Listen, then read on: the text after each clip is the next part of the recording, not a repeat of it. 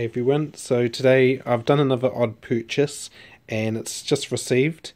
I won't say too much just yet, although I probably have it written in the uh, title of the video, but I'm going to unbox it. I haven't done anything yet and I haven't had a look. Um, it's see what kind of condition. It's a second-hand item, so otherwise we'll just see how it looks. So just undo this.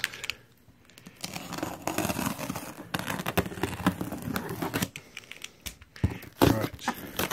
I'm expecting this item be pretty dirty and it will be just a, a that's just something I'm going to give a bit of a clean up, goof around with. I'm not going to like use it seriously, but I remember having one of these, uh, or we had one at my primary school when I was a kid, and I always thought it was quite cool. So I saw one come up for sale and thought, well, that'd be quite fun just to muck around with. So I do understand this needs a little bit of repair, but oh, repair and clean, but generally it should be alright. Probably a little bit scratched. It's something that I believe is from the 60s.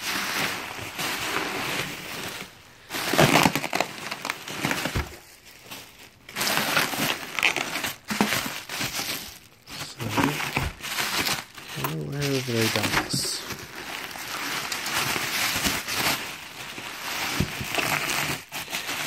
May have already guessed what it is if you had not looked at the title of the video.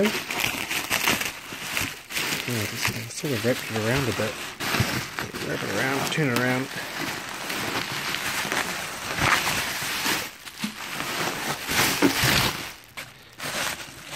Alright, so this is a auto harp.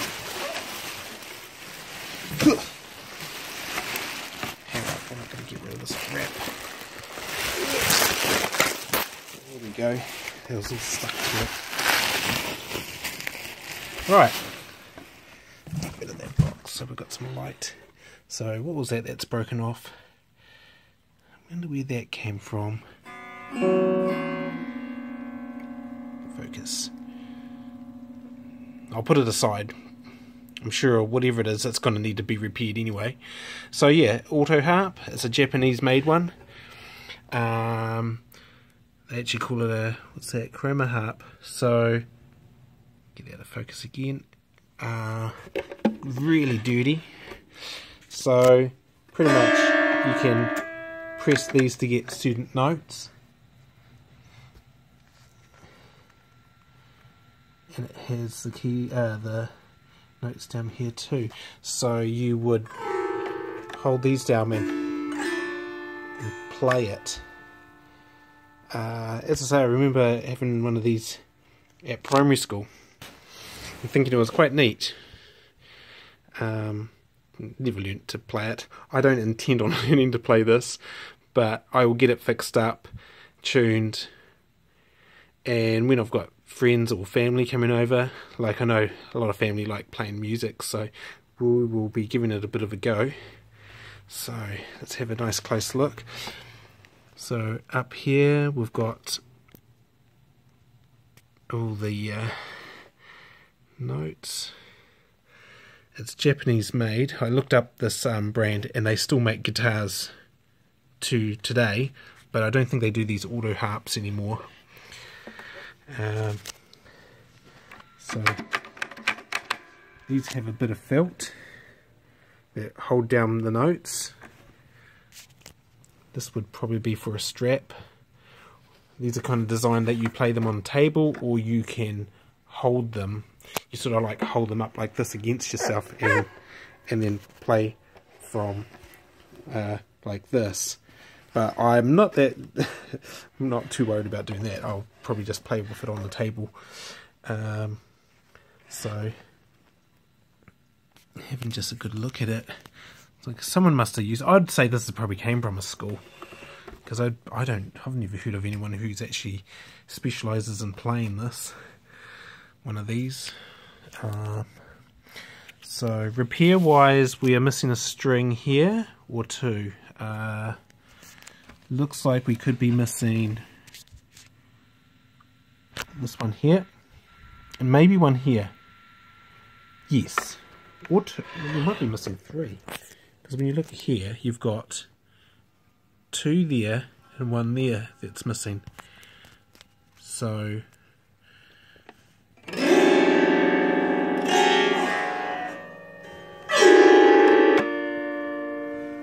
Oh yeah?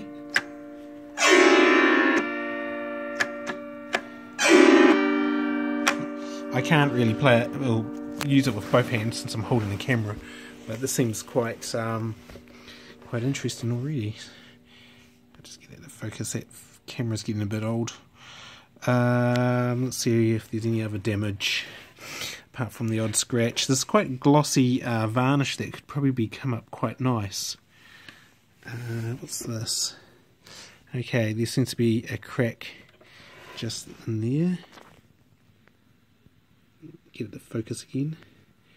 A bit of a crack there and a crack there, but it doesn't look like... Ah, that can be glued. Like I don't plan on making it perfect, but I just want to make it usable. Get that focus. I don't know what's up with this camera. Uh, but these are all here. That's good. So I need to get a string, polish and get all this dust out of it. Figure out what that is. I reckon that would be this. This opens somehow. Ah, here we go. I've just learnt something. That opens there. That's where this cords came. Uh, this, yeah, where this is strings came from. Came from one of these. Oh, here's the serial number. Wow, that's cool. I've, I really didn't know that. I, uh, you know, I would have thought, figured it out eventually. So, yeah, so that, so hard to know when this one was actually made. Um, but yeah, I think I'll be able to fix or reglue. Clean up some of these rusty screws. Polish this up. I'll give it a bit of a once over and I'll come back to you on it. We'll, we'll see how it looks. These are they're metal. They could be aluminium. Um,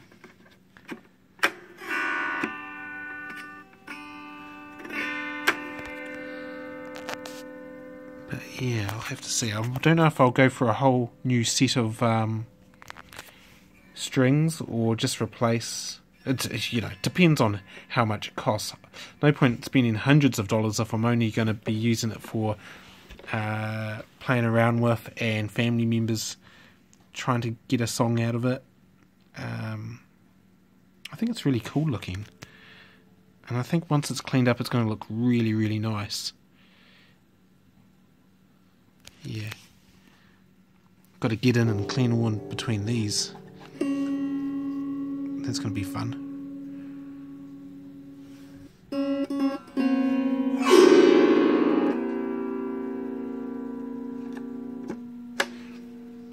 Right, I'll come back to you and we'll review after I've done a bit of a clean on it.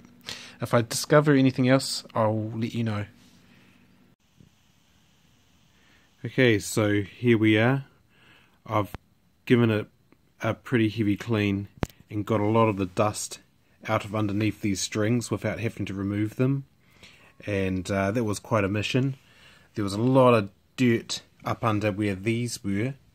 So, but it was quite protected by dirt as well. So, um, but I've given it a good clean. It was a bit tricky to get the dirt out of these bits here, and even up up under these bits here and around. But as you can see, it's still quite glossy and with the strings do protect that area. So, um, so I'm pretty much just up to only having to put these back on um, and finding some replacement strings. Now I've had a word with a few people and these are a bit tricky to find, very scarce instrument here in New Zealand. Um, and even around the world. I don't even know where quite to look, but it suggested just to keep looking online and even finding the tuning key or tool to do these can be quite tricky to find the correct one. So for now, the main is to get it looking clean and tidy. So it's going to last until I can locate some strings and um, get it tuned somehow or tune it myself. Maybe I can figure out a tool that will work for this for quick tuning. Um, but yeah, as you can see, if I can try and catch some light in it, uh, it isn't too bad. Came up quite clean. We've got a serial number there. Uh, I saw another one somewhere else. Oh, up under here. There's a number as well, and then then down under here there's that one there. But I don't think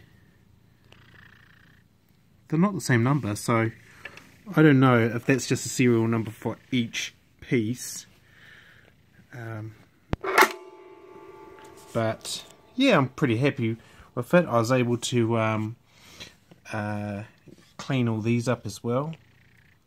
So they're looking pretty smart. So they just need to be set back into here. Um, here's the top of this. Looks like it had a sponge under it, but that's broken down over time, and I don't think. Um, well, I can't. I'll have to have a think and see what I can use to replace that. But for now, I'm going to put it back together. But the sponge would be to dampen the sound of when you're pressing it, uh, pressing down on these bars here. They do make a bit of a clicky, or not a clicky, but a bit of a bang every time they return, which I'll show you in a bit. Um, but yeah, it's quite quite tidy. Uh, um, quite quite nice. So I'm quite glad it is quite clean. Just getting up around under there. Really tricky to clean under these without removing them. And even just in, if you can see there's still a little bit of dust and dirt in those. But not much. Otherwise it looks really good. So I'm going to continue to just put these back on and um, yes that's not a yes, we'll carry on. Right, so I've just popped off the stop here, which is only held together by three screws. Um, just a flathead screwdriver you need, if I can get that to focus, just a small one. So, I've tried to keep these in order, even though I know I will have a photo of it, um, and how they sit. So, that just goes into there.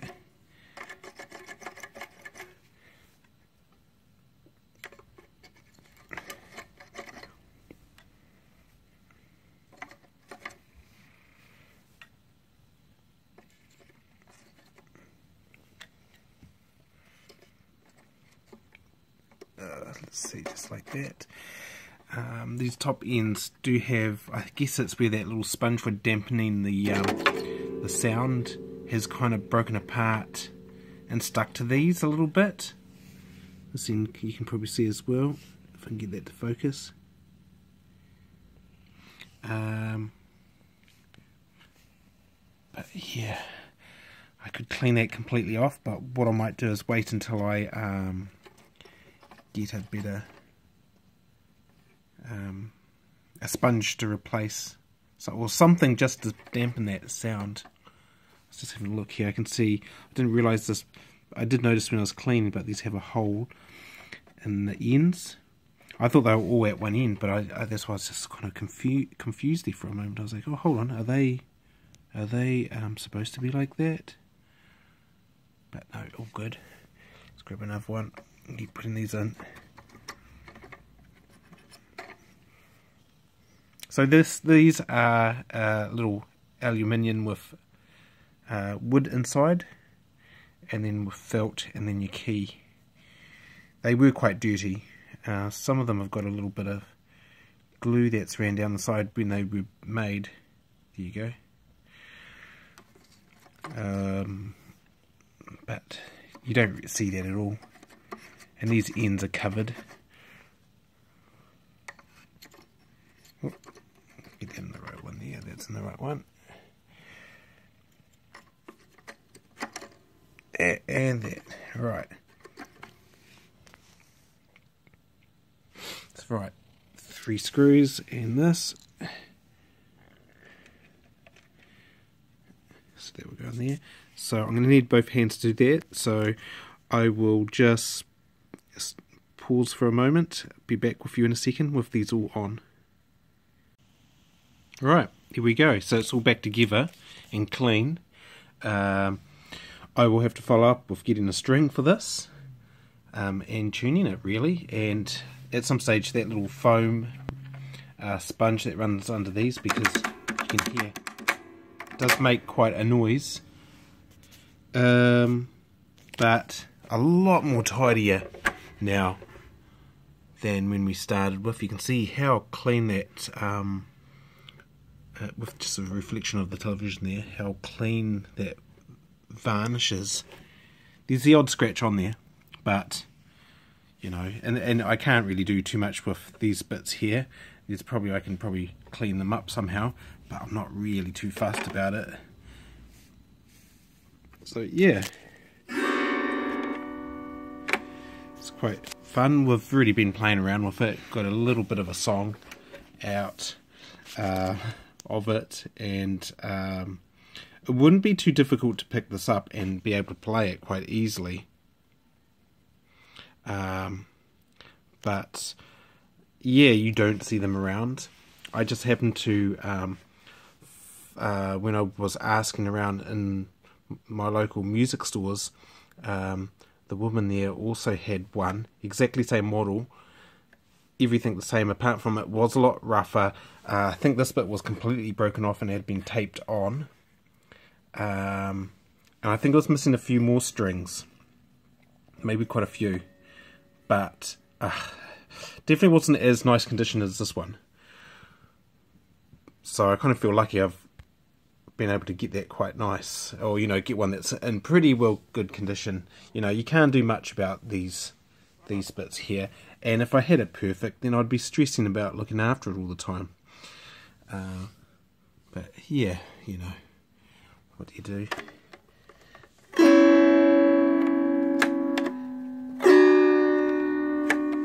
So yeah. But yeah, I sort of seen seen people playing them online, so it gives a bit of an idea. Um, takes someone really good to get these to play and sound nice. Um, but yeah, if I do a future update on this, maybe when I get a uh, replacement strings. Um, I doubt I'll be able to play it. I will continue to play around with it and try and learn it uh, very basically. Um, but I do have friends who uh, are quite well at playing instruments, and one's already had a go, and yeah, wasn't too bad really. Was picking it up pretty quick, which was nice. Um, but yeah, I think for now that's that's all for this one. Um, just looks so much better now. Um, just took a lot of effort to get that dust out of there. I think that was really the main part that made it look good. But yeah, alright. Well, anyway, thanks for watching.